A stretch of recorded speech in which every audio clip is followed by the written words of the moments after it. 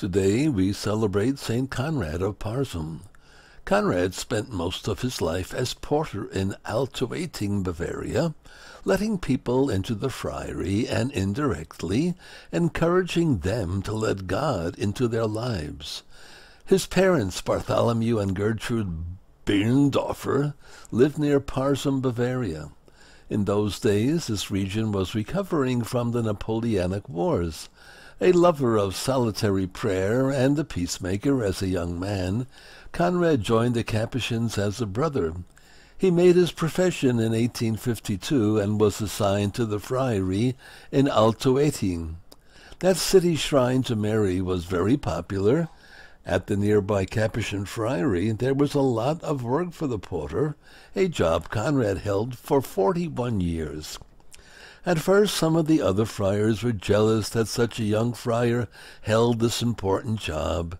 Conrad's patience and holy life overcame their doubts. As porter he dealt with many people, obtaining many of the friary's supplies, and generously providing for the poor who came to the door. He treated them all with the courtesy Francis expected of his followers. Conrad's helpfulness was sometimes unnerving.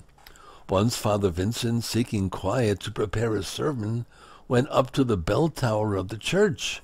Conrad tracked him down when someone wanting to go to confession specifically requested Father Vincent. Conrad also developed a special rapport with the children of the area. He enthusiastically promoted the seraphic work of charity, which aided neglected children. Conrad spent hours in prayer before the Blessed Sacrament. He regularly asked the Blessed Mother to intercede for him and for the many people he included in his prayers. The ever-patient Conrad was canonized in 1934.